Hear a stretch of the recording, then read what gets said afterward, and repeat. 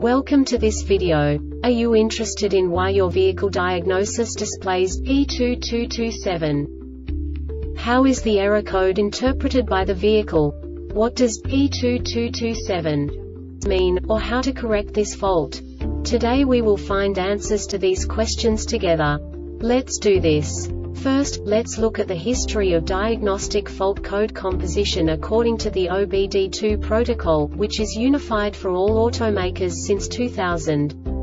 We divide the electric system of automobile into the four basic units. Powertrain, body, chassis, network. This distribution is defined in the first character code.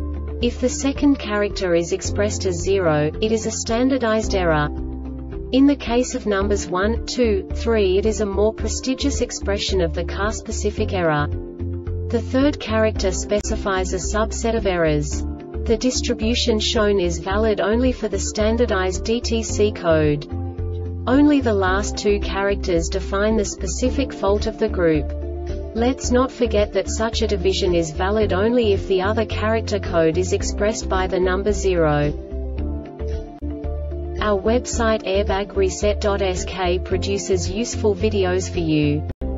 You do not have to go through the OBD2 protocol anymore to know how to troubleshoot any car breakdown. You will find all the diagnostic codes that can be diagnosed in a Mazda vehicles.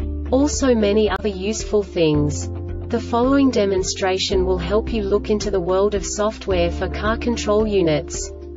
You unbelievably can move the video a bit further. The error code is split into two bytes consisting of 16 bits. One bit is the basic unit that each computer works with. The bit has two logical states. 0, low level, 1, high level. By combining the first two bits, the basic character of the error code is expressed. The next two bits again determine the second character. The last beat styles of the first byte define the third character of the code. The second byte is composed of a combination of 8 bits. The first 4 bits determine the fourth character of the code. And the combination of the last 4 bits defines the fifth character. A single byte conceals 256 possible combinations.